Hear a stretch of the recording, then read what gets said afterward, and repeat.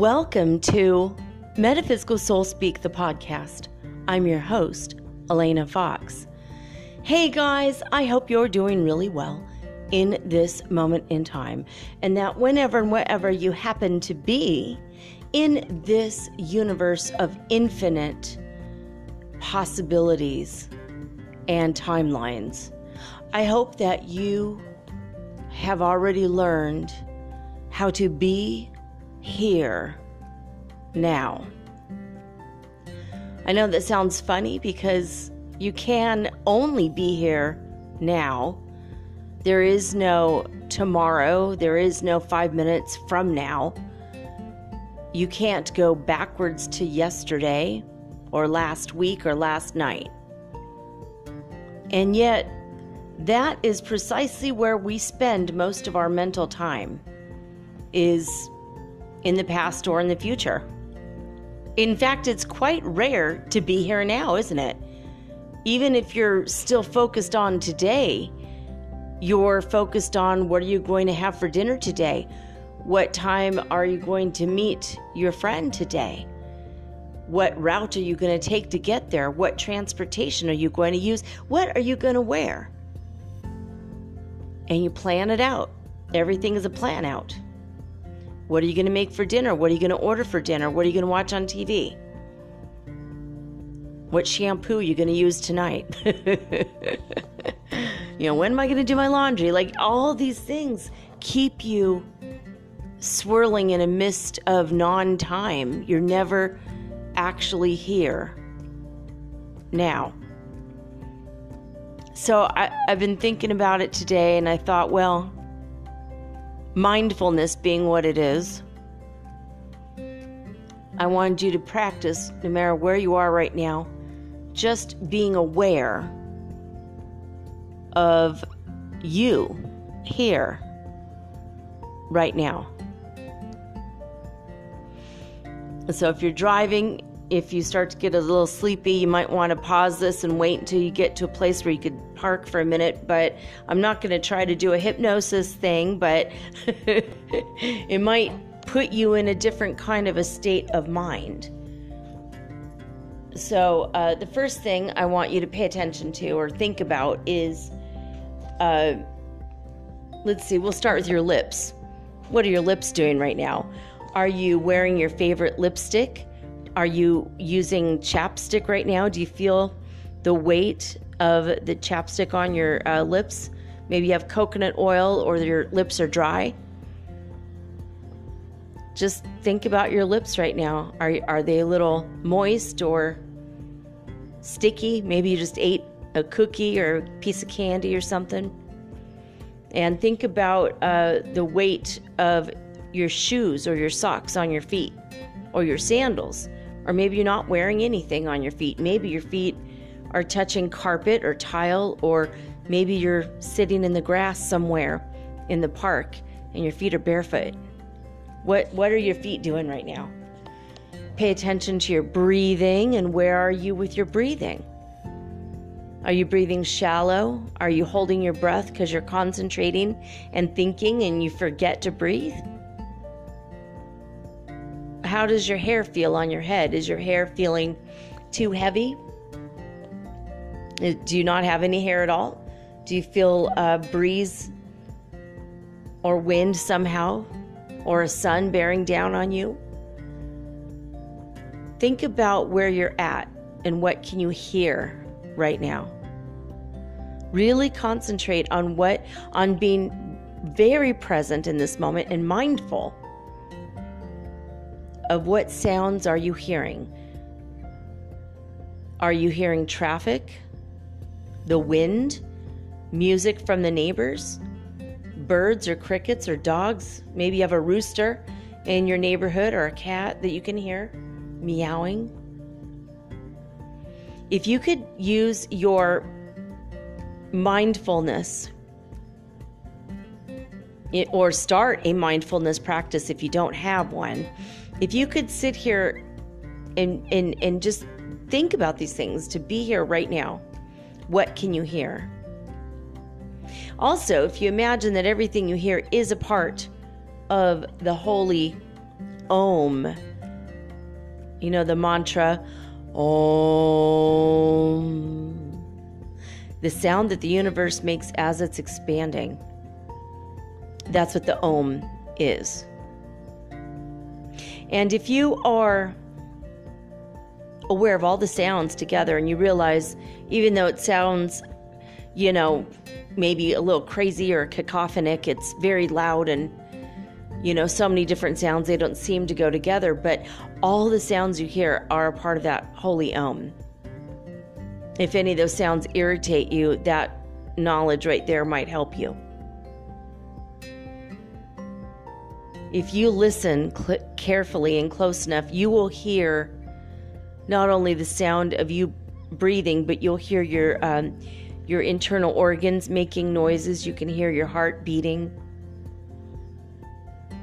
You could even hear the sound of your fingers touching your skin. If you touch your leg or your face, you'll actually hear the sound of that when you become very mindful you become very aware. Colors start to have a different appearance as they become brighter, as you focus more and hone in on the colors without thinking about anything else. Try this uh, being here now scenario. Check in with yourself and check in often.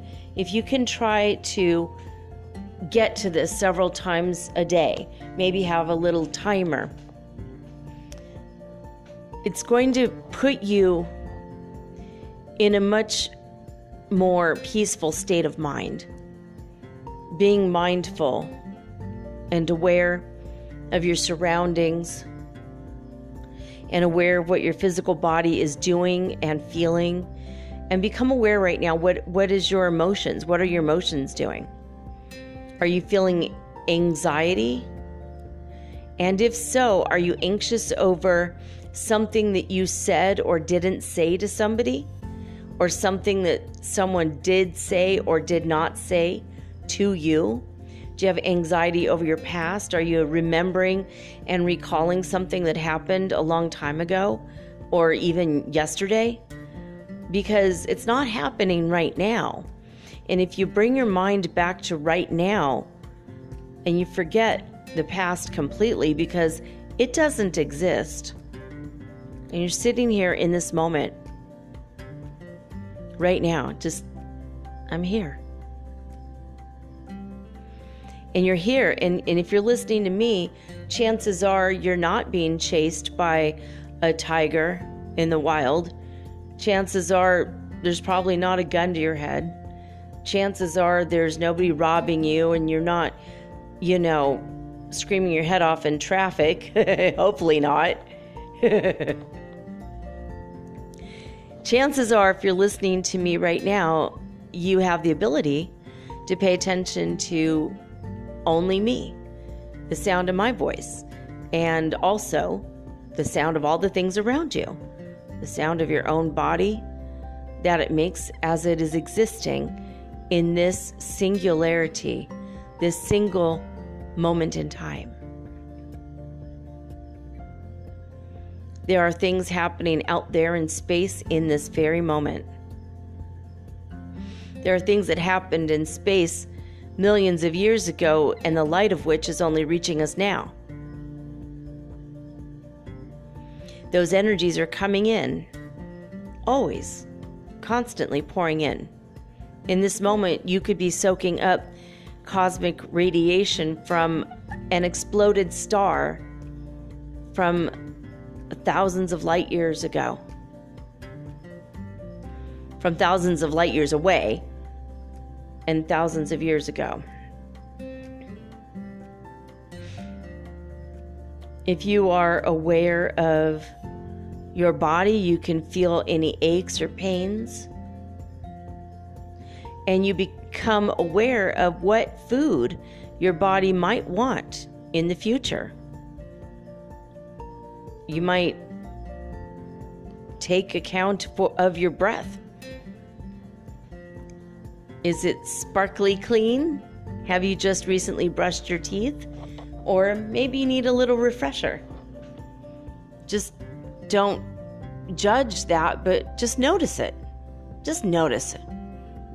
One of the biggest things that you need to know about being here now in the present moment is just all you need to do is just start noticing things right here. There's no arguments in this moment, there's no judgments in this moment. It's just a moment. And if you string these moments together, these mindfulness seconds together, you'll end up having a much more present life, living more presently and understanding everything that's happening in the moment.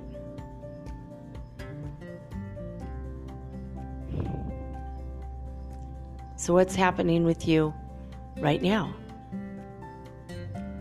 What are you feeling emotionally right now? Do you have anxiety over the future? Are you worried about things you need to do, bills you need to pay, people you need to talk to, people you need to avoid? Are you thinking about what are you going to do next week, next month, next year? How are you going to make ends meet? How are you going to get the bills paid? um, all the Christmas presents you haven't purchased for various people, worried about what other people got you. It might be, you know, more expensive or less expensive than what you got them, and there, that might be a discrepancy, and that might become an issue, or families coming over, or no one's coming over, or you wish you had people to spend the holiday with, and everyone has gone now and you're going to be alone, so you're worried and anxious over that.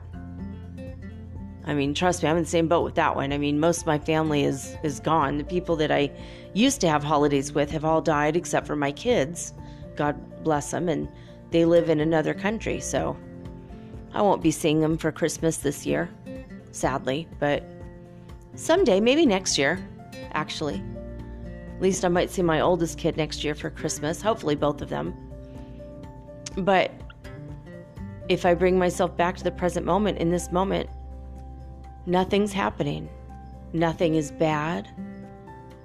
Nothing's necessarily good, but it's not bad. Everything in this moment is neutral.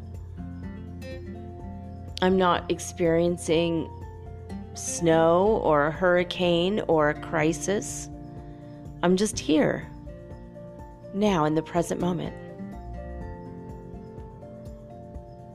There's a dog barking, there's crickets. Somebody dropped something outside. There's cars right now. Now somebody else is doing something else outside. Maybe they're hanging up their laundry, sound like they dropped something. I can hear my fan. I'm aware of my cat sleeping very softly and quietly.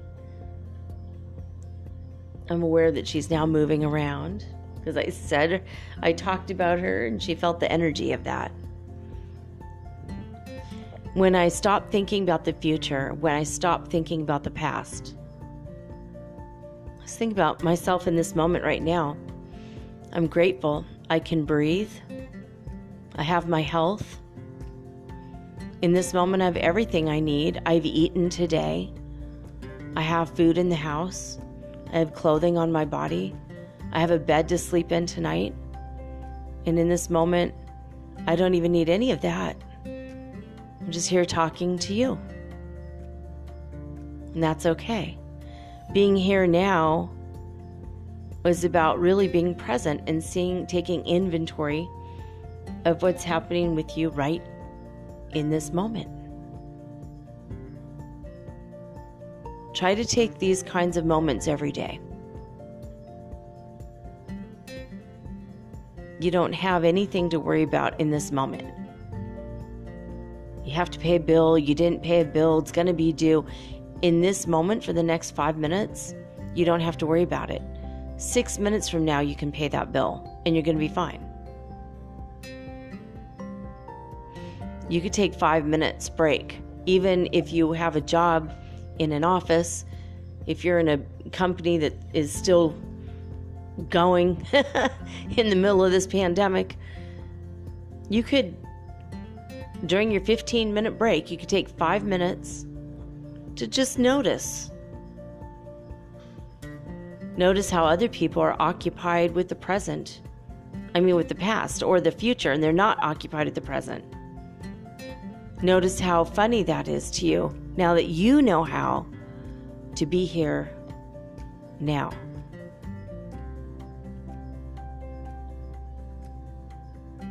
So, I just wanted to bring that up. It's so important to be mindful. It's so important to just forget your worry, forget your trouble.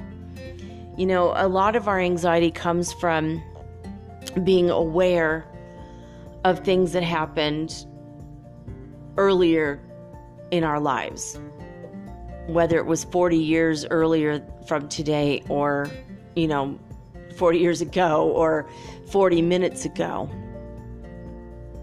That's the past. And you're not in the past, you're right here. You know, and, and so many people have their anxiety coming from things that happen that they keep reliving over and over and over in their mind. It's reruns. But there's new programming going on right now. There's new show, and it's called Your Life. and it's in this present moment the moment to be here now. And so many people's anxiety come from the future. The future never ever comes. Now you can plan and every day eh, be here in the moment as you work and make money and you know put the money in the bank or whatever it is and then you buy your house or your car or whatever it is that you're looking forward to. But a lot of people look at where they are right now and compare it with where they want to be in the future. And then they get upset and sad and, and worried. And they feel like, well, they want that now. And they try to get the future and grab it and lasso it, lasso it like it's a, a cattle at a rodeo and, and bring it in, you know, bring it here to the now. And you can't do it because it's in a different point or piece of time. And, and, and there's that anxiety you can't lasso uh, uh, something from your future and pull it to you in the moment. What you need to do is meet it in time, but not feel the anxiety of not having it because you'll continue to push it away. And the universe will say, We see that you're feeling anxiety about not having something. That must be the feeling you wish to have because that's a choosing moment. That is the choice that you're choosing. That is the emotion you are choosing in this moment. So we're going to continue to give you that which you want because you obviously want this emotion of not having. Universe looks at you and says, "Well, they're they've heard about being here now. They've heard about being in the present moment. They've heard about the law of attraction. They've heard about how to use your gratitude and your mind to get what you want, programming your world, the malleable magnetic spaces that are around you, the, the clear blue ether that want to bring, you know, the ethers that want to bring to you everything that you ever desired, all your heart's desires. You know about all that, and yet you're anxious and upset and even mad and even jealous of other people that have what you want in the future and you're upset because you don't have it now and that's creating anxiety and the universe is going to say well i guess that's what she wants. That's what she's going to get. And then you bring more anxiety scenarios to yourself until you realize you wake up one day and say oh i don't want that. I want to be here now. Because in this present moment there is no anxiety now, when I look at pictures of the house that I want, I don't feel anxiety. I feel absolute pleasure and peace and happiness and joy because that's my house. It's going to be my house. It is my house. I'm grateful. It's my house. It's my house now in this moment. I don't care if 20 families move in there tomorrow or if they have a contract, it doesn't matter. When I see that house and I close my eyes, I'm in that house in this moment. Because I can project my consciousness there. I could see what I want. And I know that if that house, in fact, is not mine in the future, I know that I can, in fact, get a house just like it with almost the exact same view, even if I want. So there's no reason to be anxious. There's always other cars, other houses, other people to date, other universities that will accept you, other jobs to have. There's always other jackets or sweaters that you can buy if you've lost one. You, you, know, there's always other purses to, to get. My purse is falling apart, by the way. I wore my purse over my shoulder and kind of across my chest like I do. And the other day, and as I was taking it up off of my shoulder, a piece of the purse fell off and and it was and my purse is black and I thought it was a bug. Boy, that put me in the now moment. I wasn't thinking about any anxieties then. I wasn't, you know, imagining having an argument with somebody then. I wasn't arguing with someone, a ghost from the past then. I, w- I was more like in the present moment in the way of, ah, oh my God, what's that? it was hilarious, actually. I'm like, wow, when uh, sudden and unexpected things happen. Woo, monkey out of nowhere. you know, spider out of nowhere. Oh no. Oh no, what shall we do? Dog barking at you out of nowhere. Oops. That puts you in the present moment. There's a lot of things that put you in the present moment. Have you ever been driving and you're like in your own world and you're like upset about the future?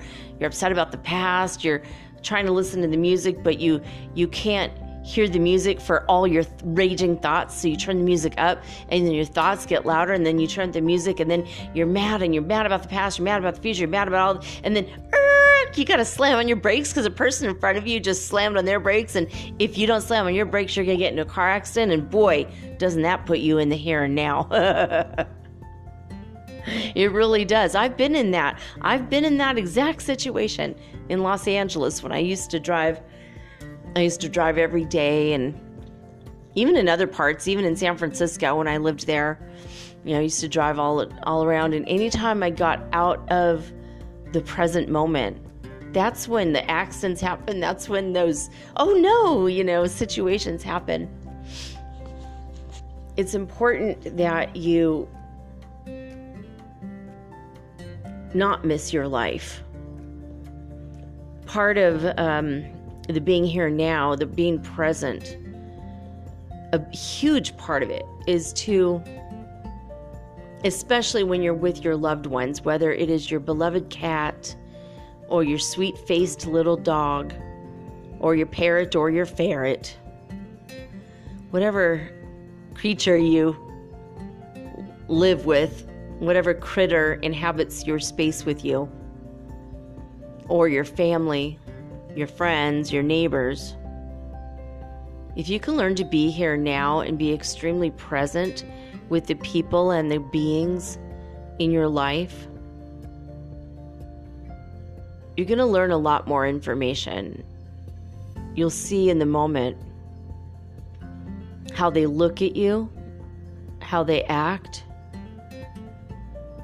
what movements they make with their bodies, what energy you feel inside your body as they make certain uh, gestures or certain uh, statements.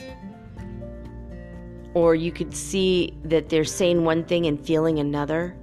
If you're staying in the present moment, you're going to learn a lot about all the people in your life. You'll find out that someone might be in love with you. Wow, you never noticed those pupils dilate before when they were around you, or that they get a little bit of a sweat across their brow, or their fingers are fidgeting around nervously. Huh, now that you're mindful, you didn't, you, now you notice that someone actually likes you.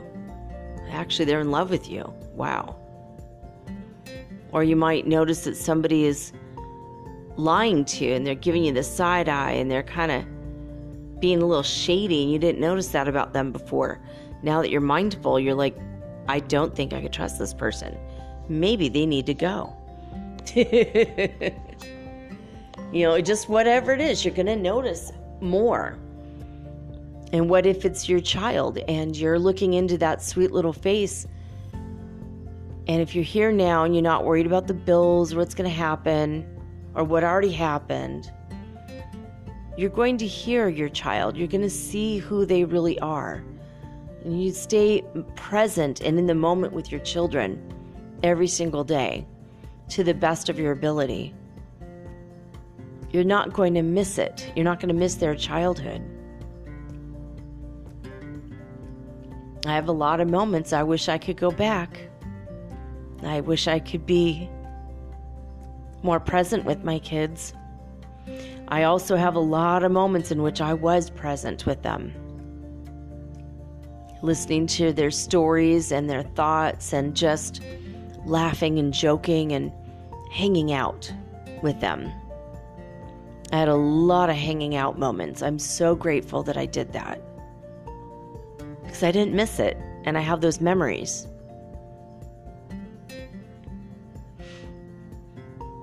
Teach your children how to be mindful.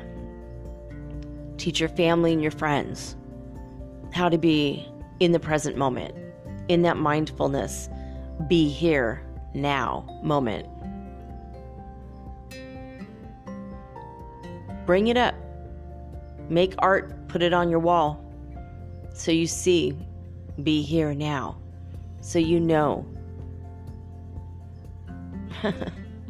so you know to do it. Remind yourself, do it, do it, do it. Because the more you do this, the more you're not going to miss your life. I have spent a lot of years trying to get to where I wanted to be. And then I've spent a little bit of time looking back, going, wow, I wished I would have lived in those moments more versus worrying about the future, being disgusted by things in the past. Wow, I could have just spent the moments loving every moment. This is our last life, guys. This is it. This is in the third dimensional part of planet Earth. This is the end. We're never going to be back here again. You might have lived this particular life a thousand times, but today is the last day of December 9th, December 10th, depending on where in the world you're listening to this. It's actually the 10th here, I'm sure. In Hawaii, it's still the 9th. By the time I put this out, it'll still be the 9th, I think, in Hawaii. But I do have a lot of people in Hawaii actually listening, so, you know, aloha. I just heard a gecko in my house. I probably wouldn't have heard it if I wasn't feeling in this mindful way, actually. They're really tiny, and unless they're calling out with their little chirpiness, you don't really know they're there, but I heard it. it made a little tiny squeak, but it was a, it was a gecko squeak. They're adorable. And I could feel the breeze on my back. It's getting a little cold. The temperature just dropped. That's another thing. When you're mindful, you could tell that when there's a temperature fluctuation. I love it. I love that. I, being mindful is really incredible. Now, I went to Coursera.org like five years ago, and I took a mindfulness course from a European university. It was really excellent.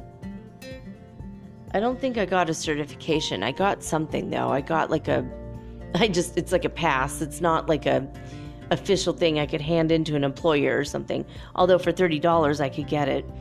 But it was a really wonderful course. Ooh, what's that? Did you guys hear that? That sounded like a really big gecko. Might have been a night bird. There are some night birds.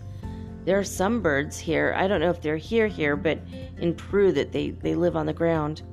So I wonder if we don't have the ground birds, the jungle ground birds here. You have to be careful where you walk if you walk in the jungle because they have their little nests with their little eggs and everything. It's adorable, but they're right on the ground. They usually hide next to very skinny trees. so they have like an anchor, like, you know, to feel safe, but it's still a little scary. I mean, snakes eat their eggs. I don't know. I saw one of these nests in the jungle when I was there. Oh, it was very. I was so stressed out for that bird because knowing I saw also, the, the little, I don't know if they're crocodiles or little caimans, alligators, something like that. I'm like, oh man, it's like a recipe for disaster. But anyway, I just heard that. It just sounded like a bird, so very interesting anyway, um, so you could take a course in mindfulness. You can learn more about this idea, this present moment scenario. But if you just breathe, check in with your emotions, check in with your body, check in with your mind. What's your mind doing? What are you thinking about? Let's take a deep breath and stop thinking.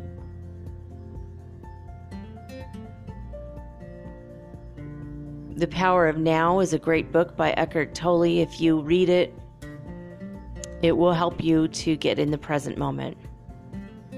This man was suicidal, sitting on a park bench, getting ready to kill himself when he had the mo- the ideas that be- eventually became the book, The Power of Now. And now he's a famous teacher. If he had killed himself, we wouldn't have had that wonderful book. So I'm glad he sat down and uh, learned how to be here now. So, anyway, um, I guess let's get to the space weather news. Uh, spaceweather.com. It's always a good time. See what's going on now. The current solar wind speed is 328.8 kilometers per second. We are um, obviously out of the um, um, solar wind stream. There's no solar wind right now. And there is a solar storm that was coming our way, but they are thinking it is going to just go south of our planet. So we're probably not even going to have it reached. Like it's not going to reach us, it's going to go just below us. So they don't expect geomagnetic storms, but we might get a little bit. It might come a little bit. There's uh, absolutely no sunspots facing us. The sun is blank. And there is nothing, there's no coronal holes open on the sun. There's nothing, nothing significant on the Earth side of the sun right now. Now, there is a really incredible picture of Comet Leonard. If you're interested in seeing this really beautiful, it's kind of a turquoise teal blue comet and it's uh, a really incredible picture. You have to scroll down quite a ways to see how long this tail is. It's a really big picture. You might love it. And the Earth is going to be, um, or I mean, the comet Leonard is going to be 35 million kilometers from Earth on December 12th. So in a couple days. It's going to be relatively close to us. You might be able to see it uh, with a basic backyard telescope. The tail is more than four degrees long from our vantage point. This picture was taken by Michael Jaeger, um, who photographed the approaching comet from Turmkogel in Austria. And he did a great job. This is a really beautiful picture. I love it. And the blue part actually extends down quite far into the tail. And then the rest of the tail, the comet, is just looks like dust, space dust, and debris. It's very, very interesting. So, um, yeah, you might want to check that out. Uh, the cosmic radiation that are currently coming in right now is 8.4% of the space age average. This is news that comes to us from Oulu's Sodankyla Geophysical Observatory, the University of Ulu in Finland. I think it's Ulu or Oulu, Oulu, I don't know. O U L U is how they spell it. So, um, we've had a 48 hour change of plus 0.2% of the radiation uh, coming our way, what's able to reach us because there is no current wind stream coming our way from the sun.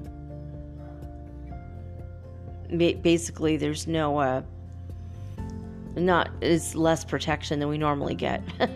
the sun protects us from the cosmic radiation, and when we're not having the solar wind or CMEs coming in, then the um, neutrons and the gamma rays and the quarks and all the things that are reaching us can reach us easier when we're not being protected by the sun, and that's how it is. All right. Uh, according to NASA's All Sky cameras and the All Sky Fireball Network, today, uh, December 9th, 2021, the network did report 48 fireballs over the United States. And here we go for those of you keeping score and track of the angel numbers 33 fireballs were sporadic, 33 is your angel number. Six were sigma hydrids, five were December monocerotids, three were geminids, or I mean geminids, and one was a puppet or pupid valid. That sounds like a really disgusting dish on Star Trek, like someone would be eating in a cafeteria or something. Are you going to eat your pupid Valid? Oh, no, you can have it. it's such a weird word, weird phrase. All right. Um, and that's it for now as far as the space weather news is concerned. You can go check all this stuff out especially this Comet Leonard picture. It's really beautiful. Spaceweather.com. They have some awesome pictures. So, um, next we're going to talk about the Schumann resonance news. And keep in mind that every city has a different um, number as far as the Schumann resonance is concerned. And if you are scrolling around social media and people go, Ooh, it's 20 today, so I felt so whatever. I felt like more headaches, no wonder.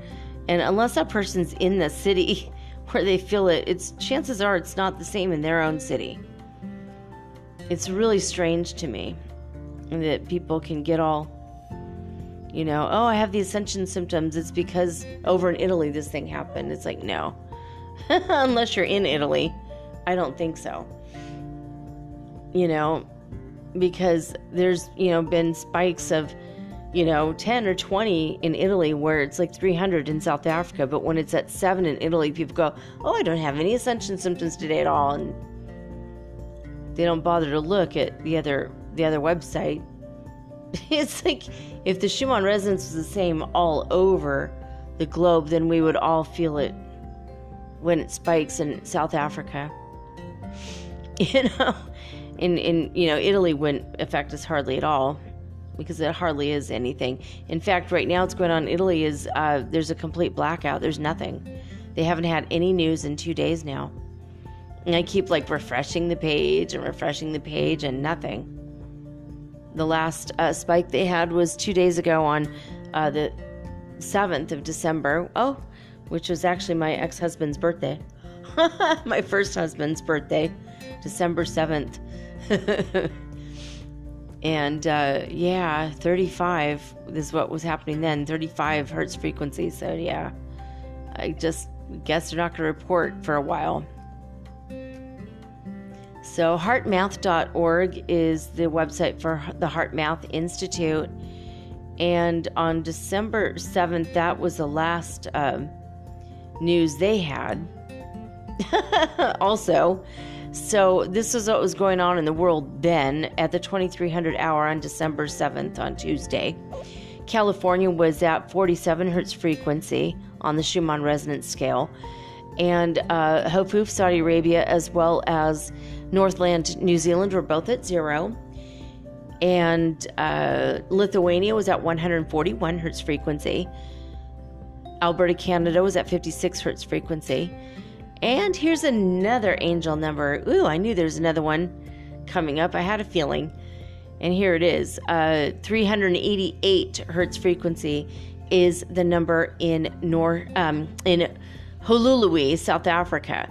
And that was so 388. So the angel number there would be either 388 or just 88. So there you have it. Um, there's something I for- had forgotten to say about. There was something I was I, I had thought about after when I was talking yesterday about being in the presence of, not even in the presence, but like being the next door neighbor to a, an incarnated demon.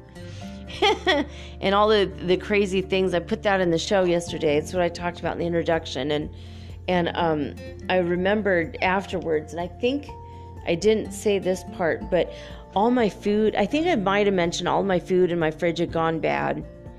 But I'd even I'd come up with three or four other things also. I mean, I now that I've been one day away, uh, like a day and a half away, the person's not here anymore. I've noticed there's so much more joy and calm energy around me. It's like my own energy is returning back to me. Like the cat and I chased each other around the apartment. We felt um, a little bit more alive and free. At least I did. I think she always feels alive and free. I did notice that she's feeling a little better. Like she had gained a bunch of weight. That was another thing happened since she since he got here. She, my cat had gained a bunch of weight, and her whiskers started to turn white, and they've always been black. So, like half of her whiskers are white as they're growing out now and the ends of her whiskers are like half of her whiskers are black. So, I mean, it was really affecting us in a lot of weird, different ways. But um, my phone had, my tablet had frozen several times. The internet kept going out. That was another one. The internet kept going out, and it was just like I had to keep shutting the tablet off and on, and it wasn't working. And there was um, something like it would just freeze up like a lot and when I was even looking at messages on social media, the messages would get jumbled up. Like the message from the other person would be underneath the message from me, so I couldn't read their own message. And I have to keep shutting down all the um, tabs or, you know, shutting down all the uh, apps and then open them up again. And even though that kind of thing will happen once in a great while, it was happening all the time. Like calls were dropped. You know, my friend called me earlier today, and we only had a couple times where it had to do the reconnecting thing. But when this guy was here next door, that reconnecting thing was happening like every 30 minutes. It was crazy. I'm noticing the differences of stuff like that. Like, wow food tastes better. you know, um, I don't know. It's just, it's very, very, very strange. I think there was something else even that I, I couldn't remember. I think that, you know, things were breaking, food was going bad. Um, the energy was bad, my emotions were bad. Like a lot of sadness, a lot of a lot of just random sadness like that came from out of nowhere like doubting myself that when i went like before he moved in i wasn't doubting myself as much. I had a lot more confidence and i felt great and suddenly he moved in and i had no more confidence. It was strange and it wasn't because he was there but because the energy swirling around him. It was really weird. Anyway i just wanted to bring that up again. In case you have doubts about somebody you meet, and all of a sudden this other stuff is happening to you, they might be an incarnated demon. And if you are an archangel incarnate, they might be trying to go back to God and on a subconscious level, they sensed you. They're scoping out your light. They want to be there with you. That's what this guy just wanted to be near me. But he didn't he didn't knock my door. He didn't try to talk to me too much. He talked to me a couple times. He was really sweet. I think he was embarrassed a little bit that he was a demon and just trying to, you know, get back to God by being near me or somehow gain me to be an empath and take his energy from him. I don't know. I did my best. He'll be okay. But um I feel a lot better. And now that he's gone, I just feel like oh, I could breathe again. Like I didn't feel like cleaning my house at all. My house started to get really, really dirty. And as soon as he left, man, I cleaned off my stove. I was cleaning off my counters. I've been sweeping the floors. I've been like throwing things away. I cleaned off my fan that had a bunch of cat fur stuck to it. I played with the cat more. I just I just feel like things have cleared out a lot.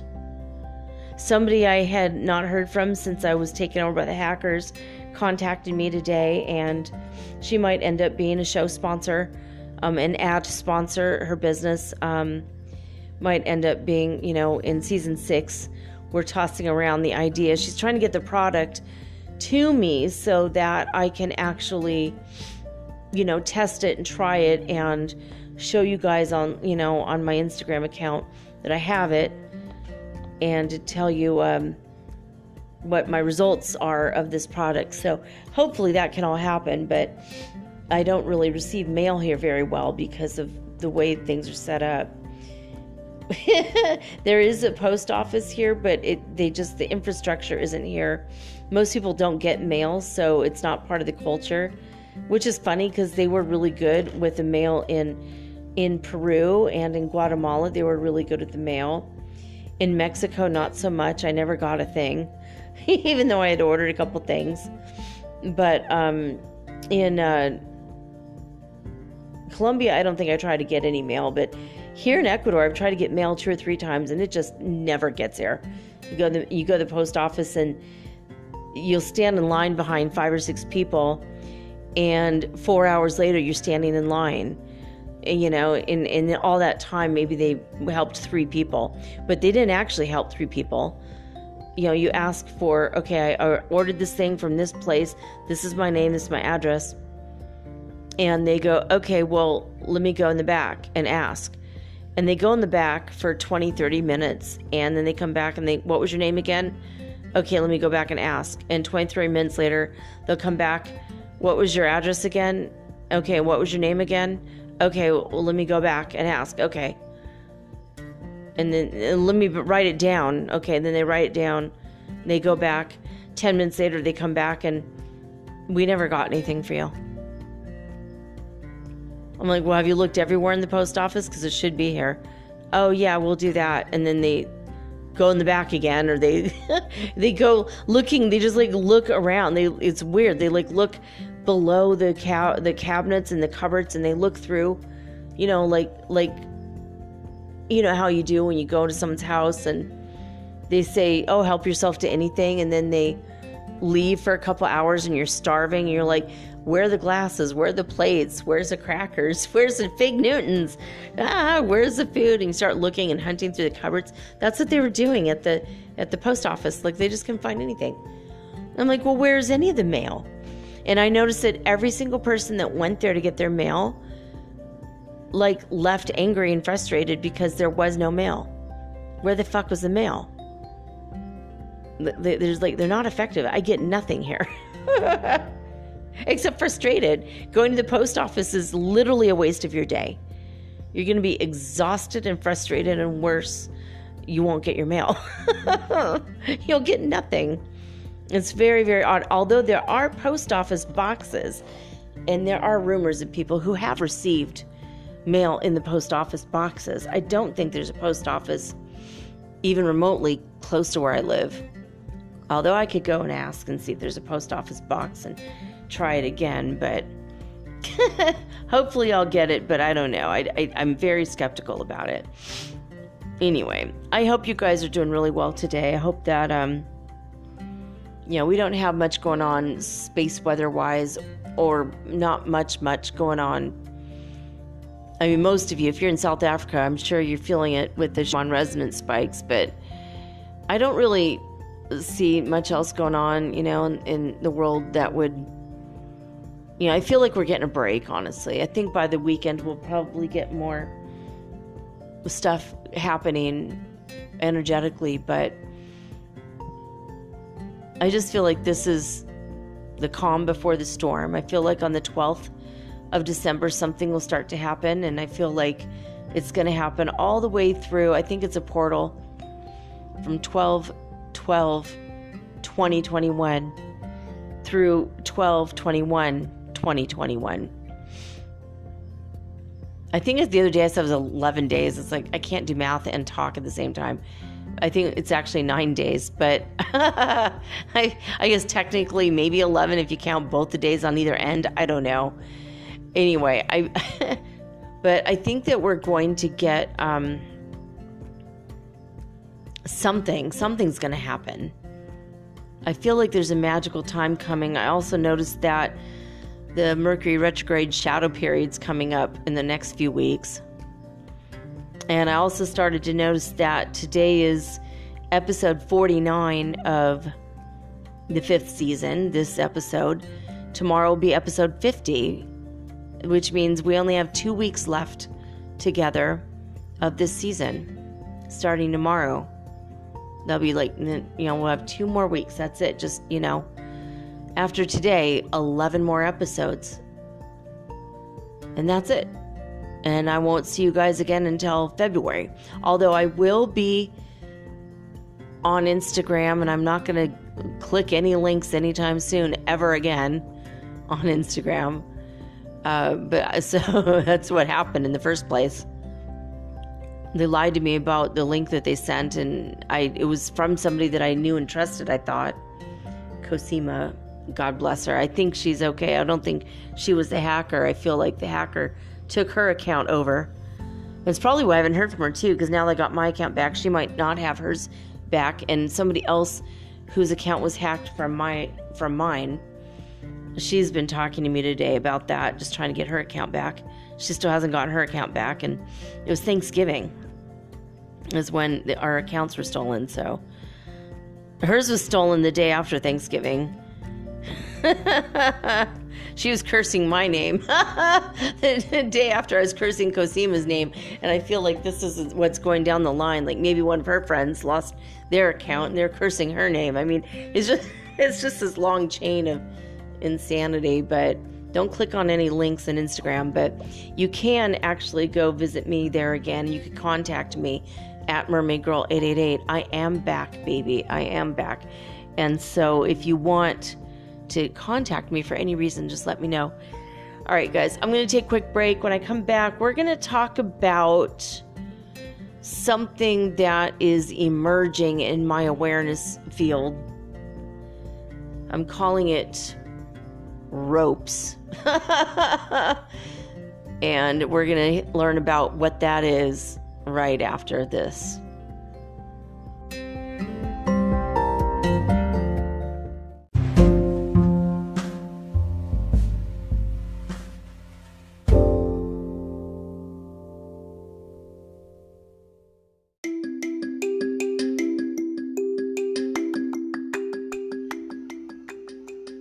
Guys, I've been making episodes of Metaphysical Soul Speak, the podcast, for a while now, and many of you have contacted me wondering just how you can support me and my podcast. Well, I have two solutions for this question. Number one is to become a listener supporter, in which you go to the Anchor app, locate my channel, and sign up anywhere from 99 cents to $9.99 monthly, and you can stop anytime. Or number two is to make a one time donation of any amount via Zelle, bank to bank, or through PayPal using my email, mermaidgirl888 at gmail.com, also located in the show description. Now, with this option, you aren't uh, obligated monthly in any way, and you're also not limited. Thank you all so much in advance for your support. Let's keep Metaphysical Soul Speak on the air and onward and upward to the fifth dimension together, guys. Thank you.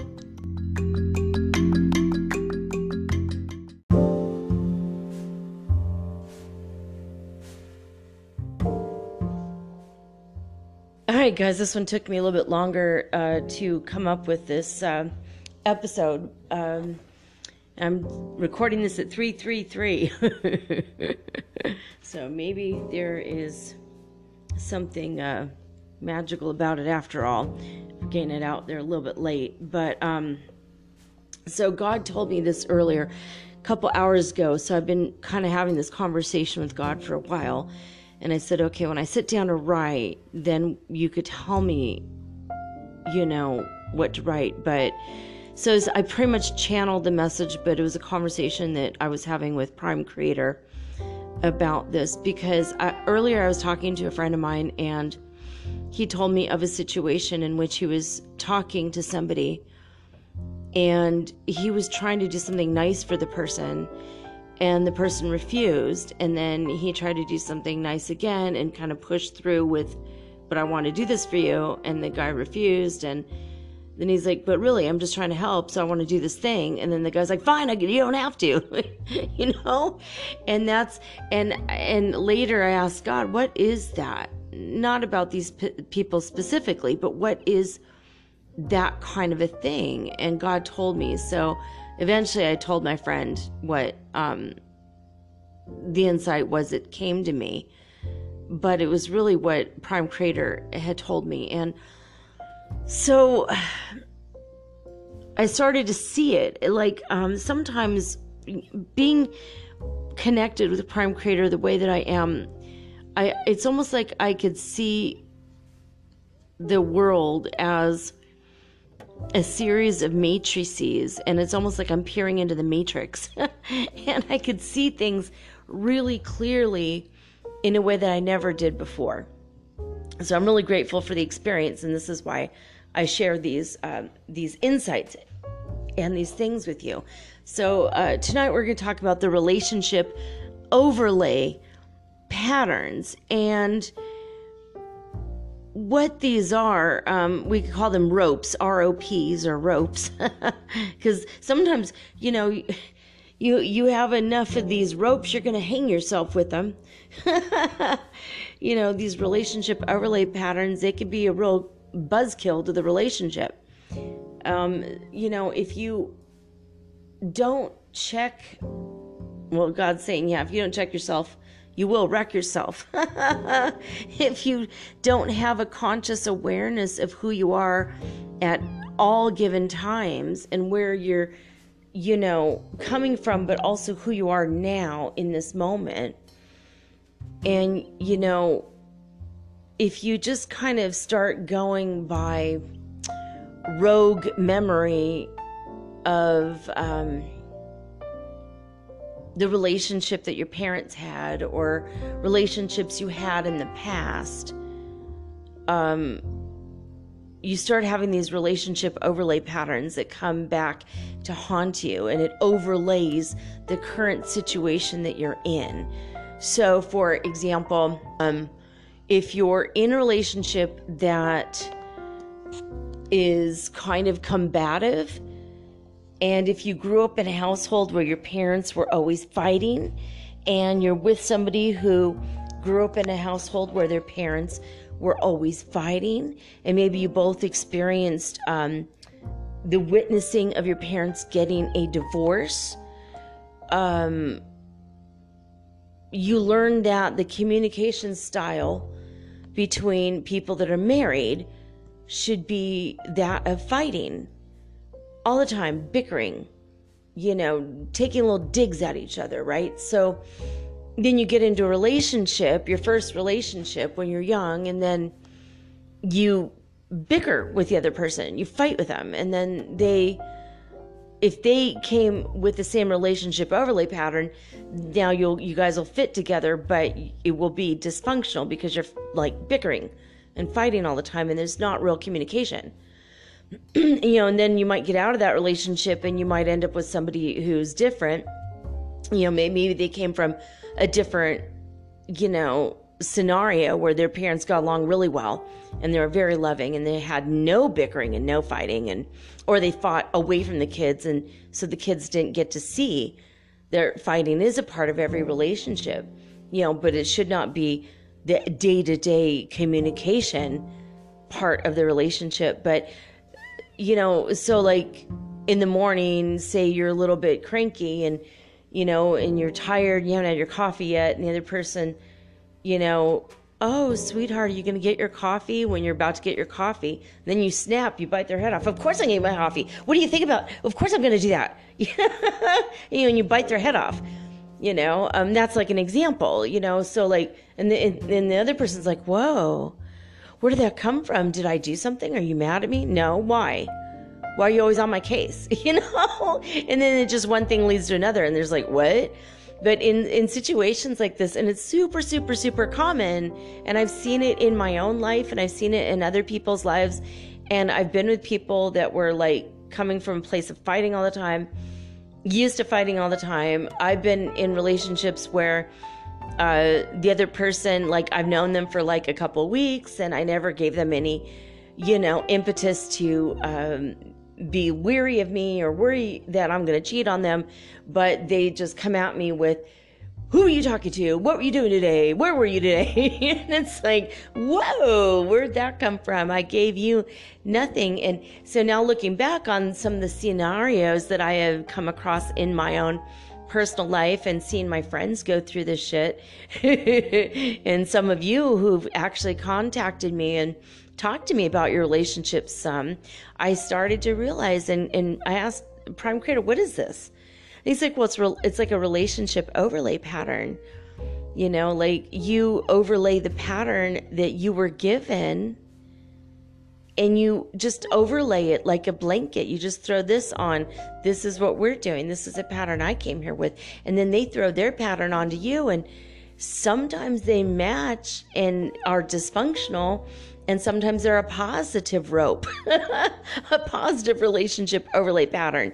And in the positive ones, then those can work, but you're still working from operating from a non mindfulness area of your mind. Uh, uh, you know, you're coming from a place where you're, um, uh, it's like a subconscious um, pattern. Like you're you're you're just not really operating from your conscious mind. You know, like you just kind of are in environmental hypnosis and you're just kind of walking around like whoa, you know, biting your head off or, you know, whatever. You know, you have the like you might have um you know, a partner who wants to be a caretaker and they can't stop but or they can't help but want to always be a caretaker, you know, um like maybe you know one parent is absent from the home and the only parent that's home is constantly caretaking. Can I get that for you? Can I do that for you? Can I cut your meat for you? Can I tie your shoe for you? Can I give you money? Can I do can I take you to the mall? Can I you know, like parents that maybe should have stopped coddling you when you're 5 or 6 years old, but they continue and you know, maybe you're like 30 or 50 and your mom's still there coddling you, you know? And maybe that's your relationship overlay pattern. And so you're a caretaker and then so you'll go out in the world and you find the people that need a caretaker like the heroin addicts or you know the um, broken people the really super broken people. And then you know after a couple years you're like why doesn't this work? Like what the hell? You know, i'm taking care of this person. And then they they hurt me. They cheated on me. They went and did all these drugs and you know or they you know started stealing from the stores or whatever crazy thing that their overlay pattern was. Because you know some people come from a very dysfunctional place. And sometimes those people are us. You know we're all dysfunctional to one extent or another but what's weird is we're all dysfunctional in different ways because our parents you know have different ways of viewing the world, you know? Like some people that grow up in the countryside are told by their parents don't ever move to the city because people from the city are deadly, they're dangerous, they will kill you, they have guns, they're terrible people. And so if you end up getting a job in a city, you're terrified of all the people around you. Then you operate from a place of fear. And so you don't trust anyone in the city. You know? That might be one, that might be a pattern. So there's all these crazy ideas and patterns and there's so many of them. They're not just one thing, but they and they're overlaid. It's like they're it's like layers and layers and layers and it's just like overlaid. It's like you experience stuff in a wide variety of ways. And I'm going to go over the notes that Prime Creator and I wrote together. Um, I wrote him while he just told me the whole lecture tonight, basically. But um, so he, but you know, he told me to talk a little bit about it first. So basically, um, you could be going through your your your life, and you know, like maybe this week something will happen in your parents' lives, and they will overlay you know, they'll tell you a lesson. Oh, let me tell you, when you go to the city, la la la, whatever. Overlay this pattern. And then, you know, they'll have a fight. And now you see the communication styles during a fight. You know, and, and they might be conscious people, but then a fight comes up and then they go back into their patterns that were overlaid on them. And then they overlay that pattern on the relationship. Well, that ends up being overlaid on top of you, you know, and then you know, a couple years later, something else might happen, or a couple weeks later. And you just get all these, like, you know, how do you handle when someone comes to the door unannounced? How do you handle it when somebody calls you and you didn't expect the call, or they just show up? You know, the pop in, you know, how do you handle that? You know, well, your parents handled it a certain way, and you might tend to handle it the same way or you might do it the opposite because you didn't like the way your parents did. And you said, I'm not going to do that. You throw that overlay off, and now you created your own pattern that's just basically the opposite of that. But it's hard to see it unless you are very consciously aware of it. Like, I um, did not like the way that my my stepmom was. She was the opposite of my mom. My mom just left other people alone. Period. My mom just didn't really you know, she didn't really socialize much. She didn't have many friends. She had several friends, but she didn't have like, you know, tons and tons of friends. You know, she just had like a handful of friends. She kept, you know, her uh, very close friends were like she, people she knew all the way her whole life growing up, like high school friends. And she didn't really um, go out and make a lot of new friends. Every now and again, she'd make a friend and and then something would happen and then that was the end you know it's just like i don't know they moved away or we had a fight or i don't know i just can't stand her anymore. I got to know her and i didn't like her. But i think my mom was a little bit more introverted and my stepmom was extremely extroverted. So my initial relationship overlay was pattern was just we stay home we don't do anything we don't do anything with other people.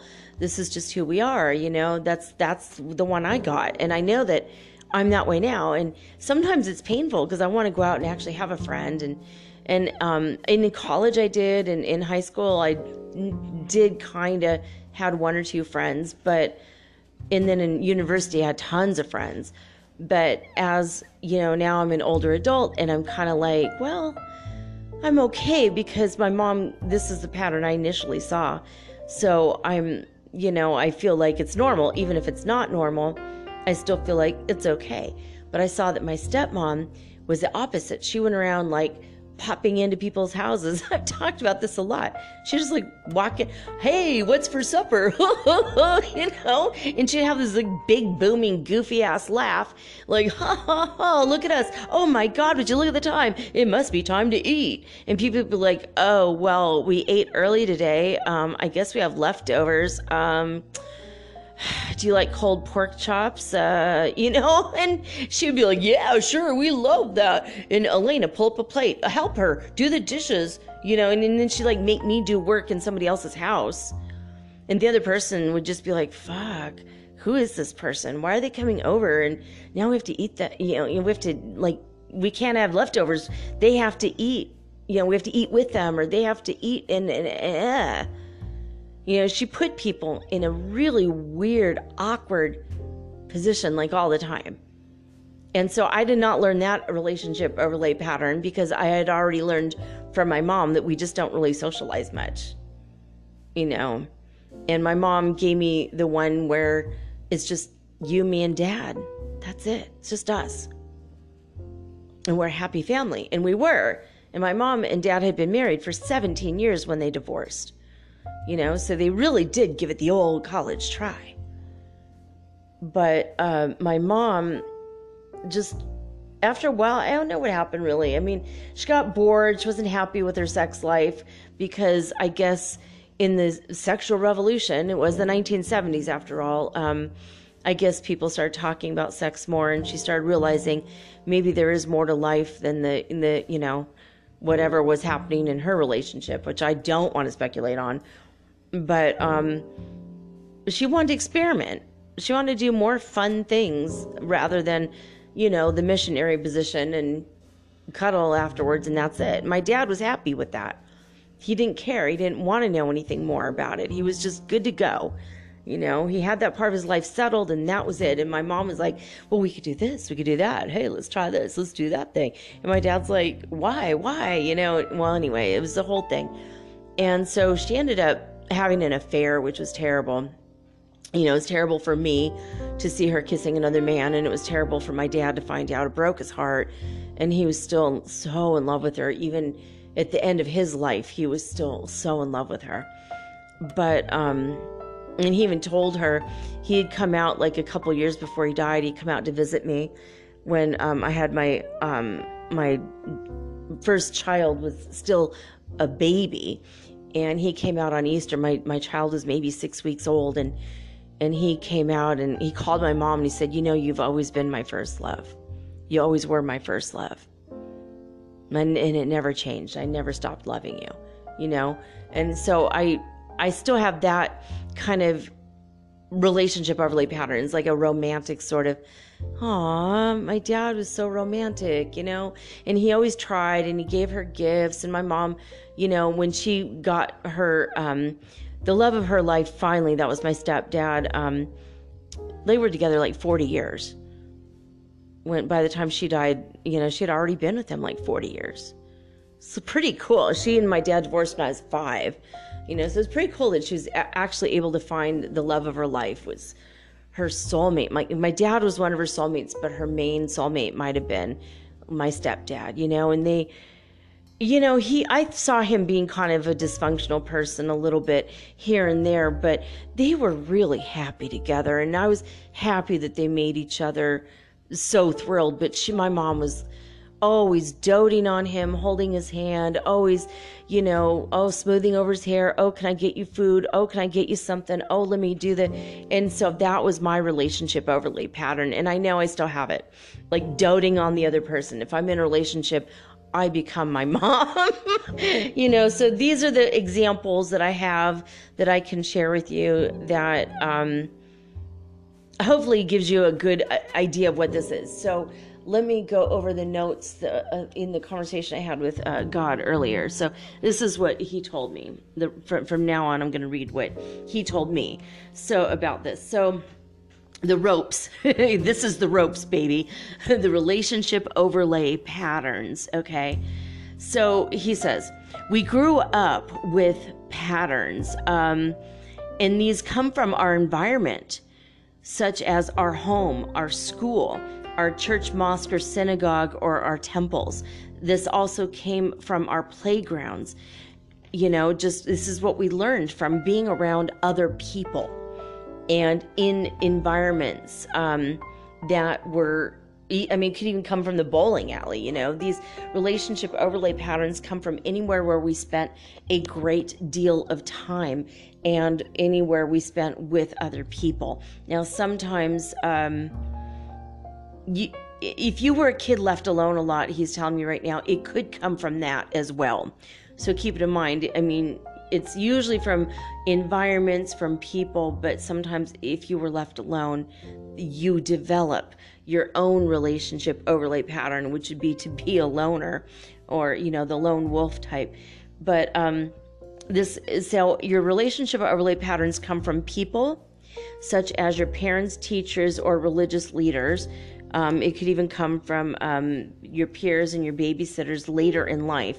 And you could develop the relationship overlay patterns pretty much at any time. You can learn new tricks, even if you're an old dog. That's what God is telling me right now.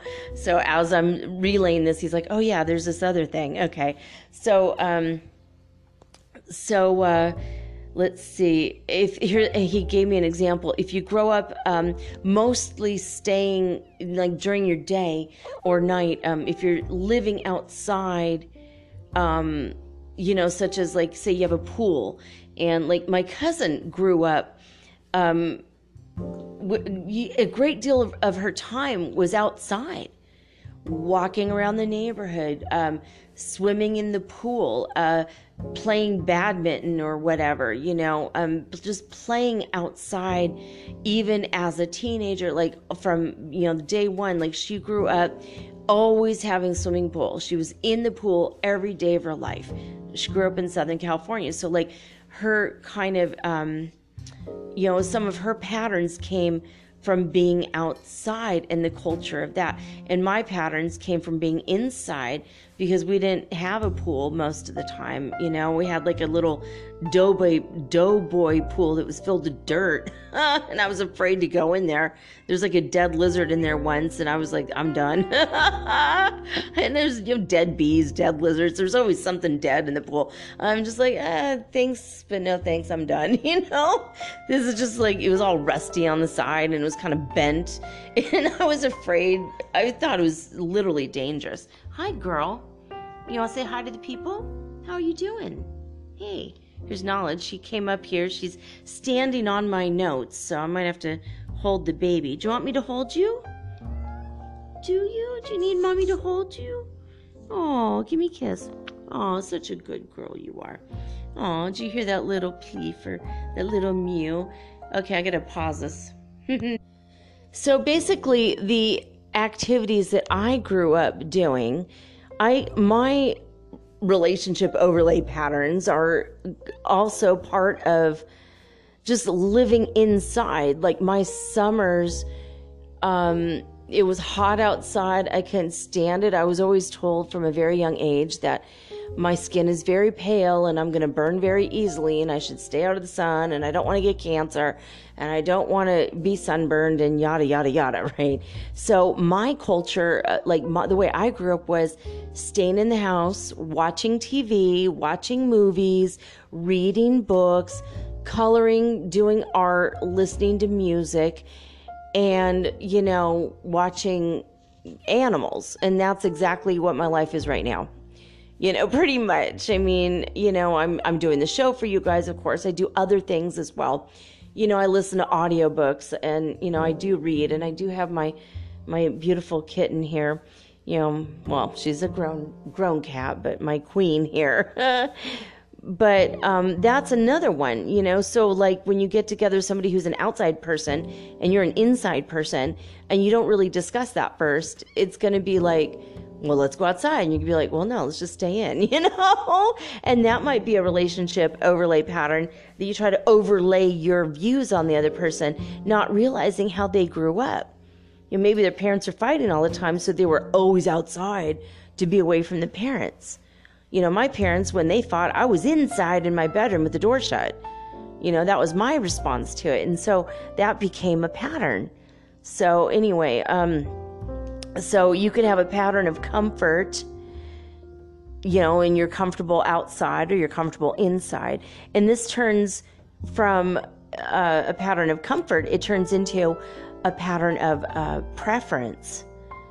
And so you end up being like an indoor person or an outdoor person, you know, and it, it, it could come from a wide variety of places. Like, you know, like my um, cousin who had the big, huge, beautiful backyard, and she had her games, and her friends liked liked to hang out, and they were always asking her to like, you know, let's go, you know, to um, the miniature golf place, or let's go to the, you know, the, um, I don't know, the one where they drive the, the little go karts around.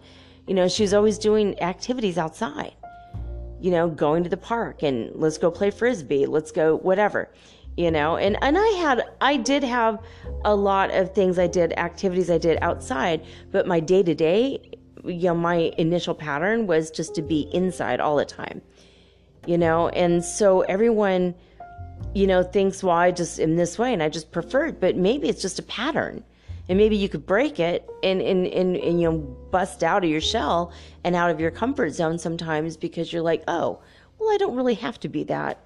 I don't have to be an indoor person.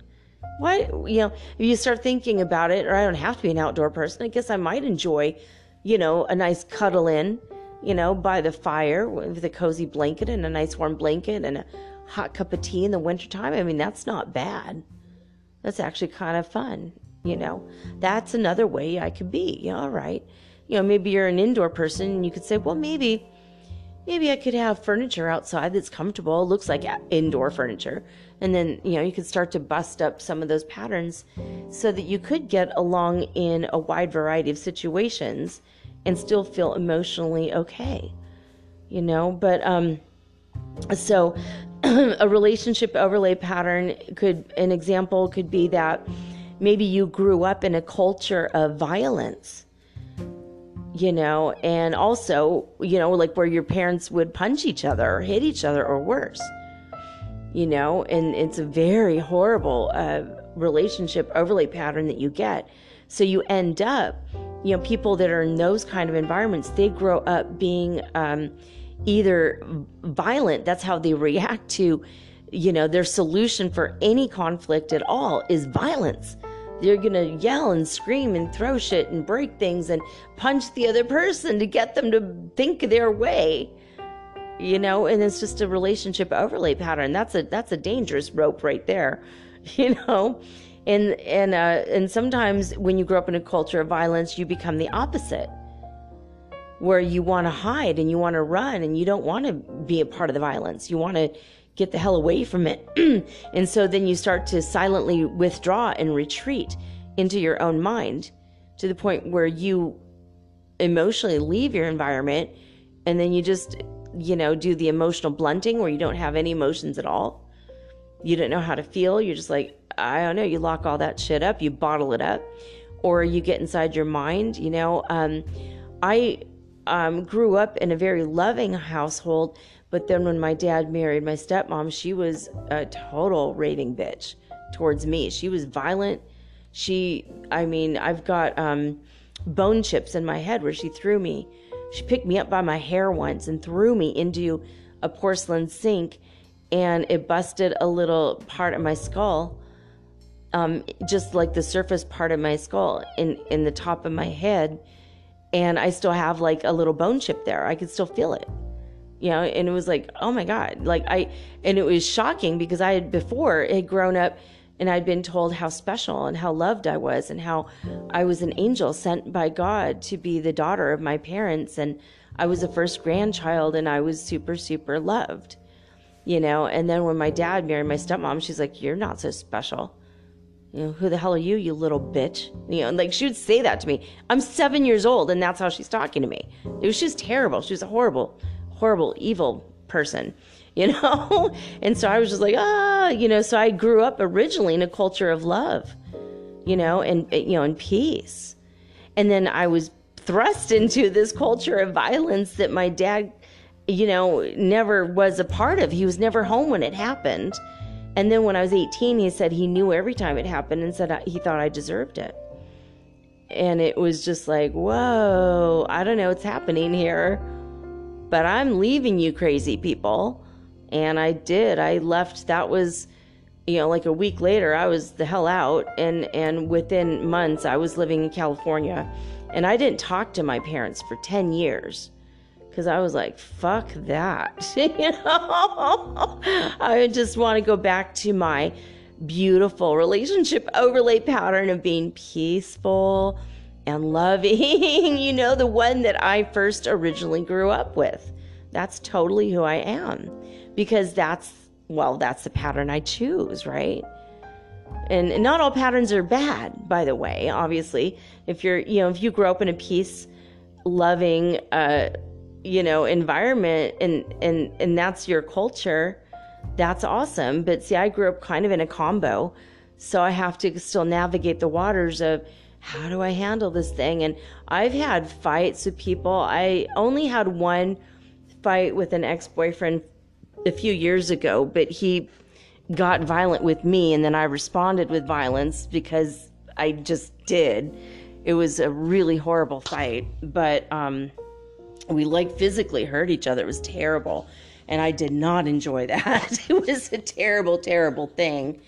But um, some people end up, uh, oh, the cat, you're not supposed to be on the computer, girl. Hold on in any event, I, I did not want to. Um, now I'm holding the baby on the other shoulder. I love you, baby girl. She wants mommy to hold her right now. Such a sweet love. Now she's, oh, she has to stand on my shoulder. She's wrapping her tail around my face. it's okay, girl. I'm doing my show. You could say hi to the people too, you know. All right. So, um, I learned from that experience, of course, that I don't want to ever be in a culture of violence again. And, and we ended up breaking up, you know, um, not long after that. Um, but, you know, obviously it's not a way to resolve issues at all. And, and so if you grew up with this relationship overlay pattern, it's something you're going to have to consciously recognize. We're going to talk about it in a little bit, how to do that. So if you, um, let's see, so basically, if so, you grow up either in a culture of violence or a culture of peace, or a combination of the two, and you grow up in a way where you learn how to resolve your issues or not resolving your issues like at all, and you know it depends on who you're around and who you get into a relationship with, depends on how they grew up, and so your fighting styles might be opposite or different, or maybe your fighting style is not to fight at all but to retreat, you know, based on what you went through. So anyway, um, so you're you can grow up with different communication styles and they could be heavy or complicated or clear and breezy. They could be a combination of any of these or of something else entirely. Now, another relationship overlay pattern has to do with money. Okay. This one's really, really intense for some people. So you might grow up in a, in um, a, household where money was dealt with as a business transaction, like it's a, just a cold hard fact. Oh, time to pay the bills. Okay, cool, let's do that. You know, or it could be super emotional, and it could be emotional positive or emotional negative. It, it, it you know could be you know, oh, we give money away freely because that's how we love people. This is what we do. You know, we like to give money to charity. This is we're philanthropists. It's just who we are, what we do. La la la. Very happy, but very emotional. Or um, you could be, grow up in in a way in which money is directly tied to you and your self esteem. This is what makes you a man. This is separates you from other men. The more money, the better. The more money you have, the more of a man you are right? The more of an independent woman you're going to be with the more money you have. Or, you know, you don't think you're an adult until you have a certain amount of money, you know? And it's all about the money messages. It's all about the messages that you have. And sometimes, you know, if you take uh, money from, or if someone tries to give you money, you might feel uh, your relationship pattern might end up being like, um, an example is uh, like someone tries to give you money because you need money and you get really embarrassed and you feel like maybe you don't you're not really um, a man if you take money and you're not an effective adult and and you know and if you take money then it's like emasculating you you know if you're a man and you know a lot of men have problems with that because of the culture that they grew up in you know the culture of the household and how their parents um, you know responded in relationship to money. And in, so you could have completely different money styles and money blueprints and that's a whole nother thing. But uh, your relationship overlay patterns are all messages.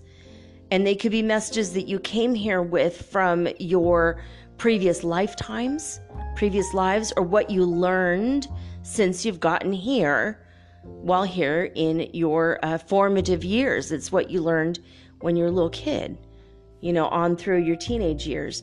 So your relationship overlay, overlay patterns can be happy, sad, positive, or negative, and it can include your responses. So it's not only what other people are doing, but your relationship overlay patterns do include your responses to your stimuli, the environment, and other people. So, um, like my parents would scream and shout and, you know, have yelling matches with each other. My stepmom and my dad, they'd yell at each other. And that was their relationship overlay pattern was to scream at each other. And they both had the same one yelling, yelling, yelling. You know, that's what they wanted to do. But my response to the stimuli of them yelling, especially with the, you know, mild autism I have going on, I was just like, fuck that shit. And I'd go in my room and I'd, I would hold my ears. Sometimes I'd be in my closet with the door shut and I'd just try to put like a blanket over my head because I was like, I don't want to be around that shit. When I was little, I was like, oh my God, I can't handle that. The energy of that is terrible. And I remember just like rocking back and forth, like just uh, that's it, I'm done, I'm done. I just I can't, I don't want, you know. And I and so my relationship overlay pattern became not from what I was seeing or witnessing, but my response to it was to just I'm retreating, I'm not talking right now, I'm going somewhere else. I'm to hide you know, to the point of where, you know, I would get, um, even just a few years ago when I was in Detroit, someone come around knocking on the door, I'm hiding. I'm not gonna. I'm an adult and I'm hiding. Like I'm. That's. I'm. That's my. Re, that's my relationship overlay pattern. I don't know who's. Ta- I don't have anyone coming over. I didn't have a conversation with anyone who's gonna come over. I'm not answering the fucking door. Who's at the other? Who's on the other side? One time I did answer the door and it were met, there was a women posse and they had guns. Another time I answered door and men with guns. Fuck this shit. I mean, Detroit's a crazy place, but you know, and I, I, I, I was able to calm the people down and they didn't use their guns on me, but they had every intention of if this shit goes sideways, you know, and that was their relationship overlay patterns you know now my my response to that stimuli is i'm going to go back and sell my house and make a fortune because i've waited seven years and it's worth a hell of a lot it's actually worth 10 times what i bought it for which thank thank you god you know knock on wood's to continue to rise in value and then i could get the money back out of it and just be done with the city entirely but even though I loved, I honestly love Detroit. And I love being there, but I don't want to live there alone. So anyway, um, so anyway, uh, let's see where we are. Re- relationship overlay patterns. Um, so yeah, so it, it's not just the in, it's not just the other people and what they tell you or what they show you and how the environment is.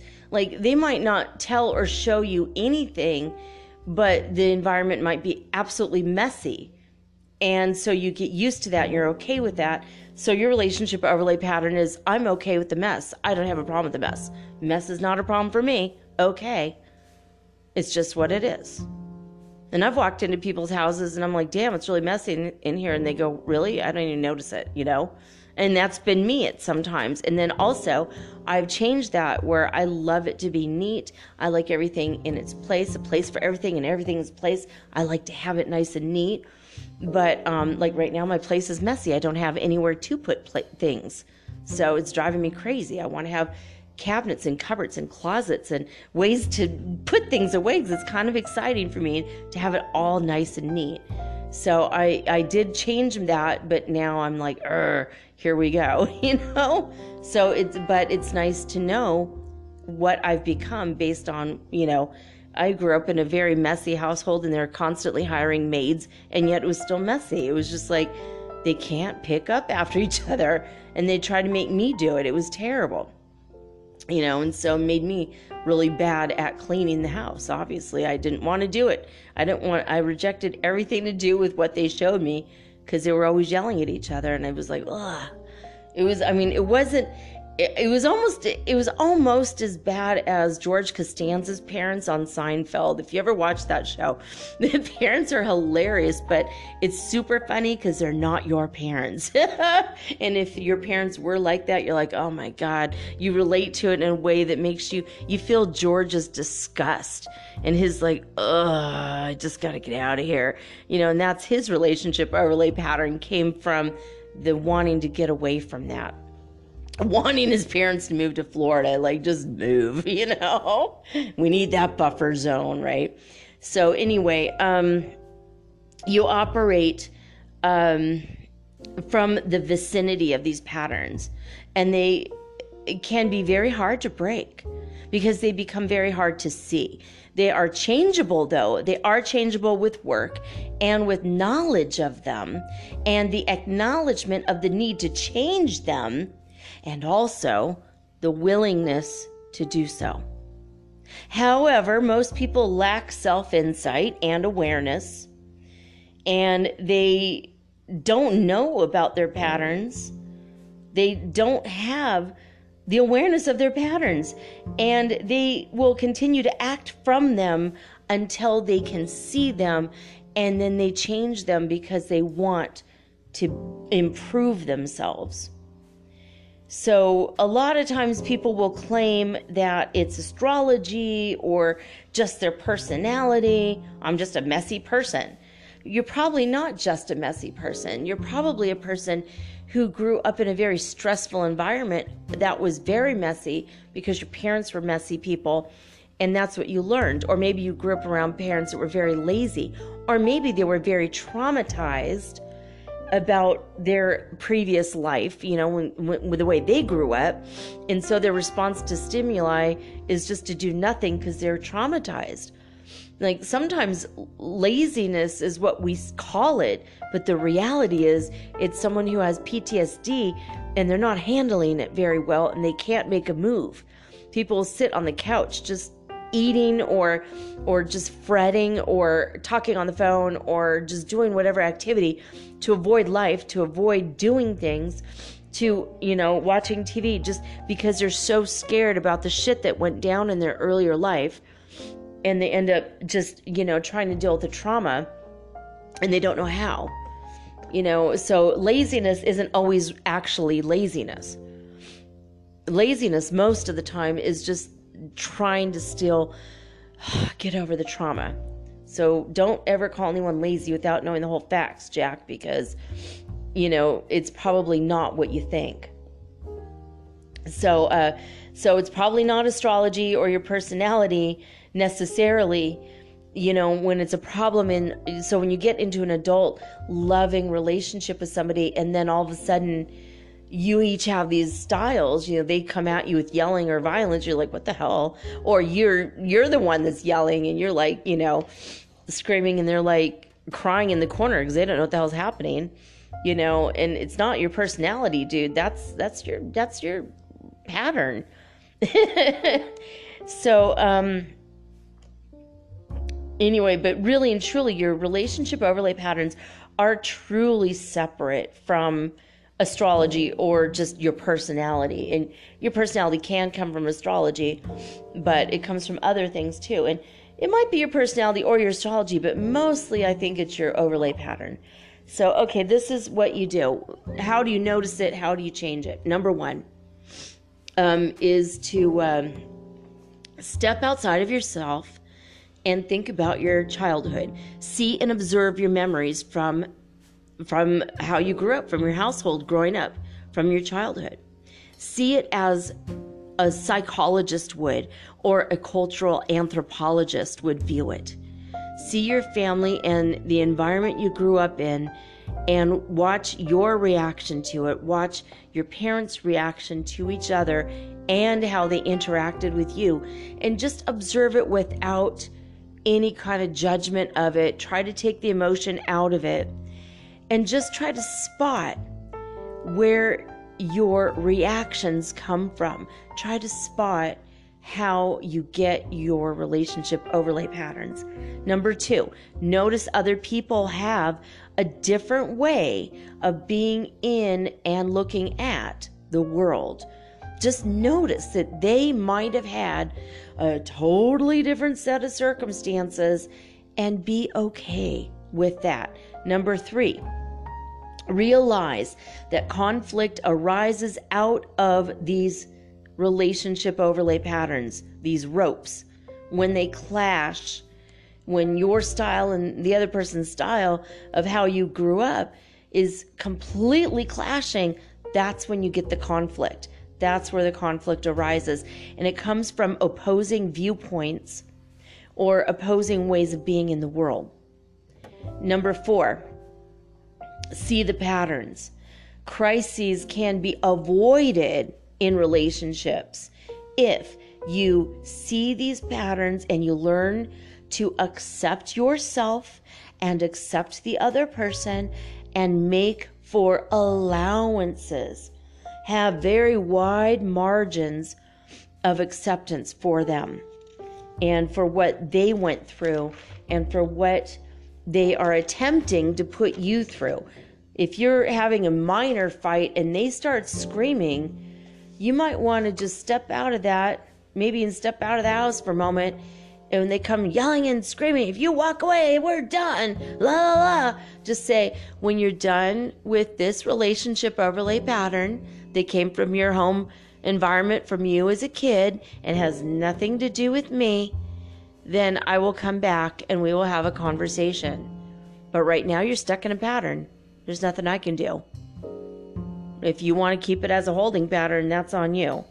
And if you really want it to be done, that's okay. But if you could see that this is a pattern, then I could come back and we can enjoy life together again. You know, I had a boyfriend who would go into these patterns, and I'd just be like, You're doing this, but this has nothing to do with me. This has nothing to do with who I am as a person. You're accusing me of things that have nothing to do with me.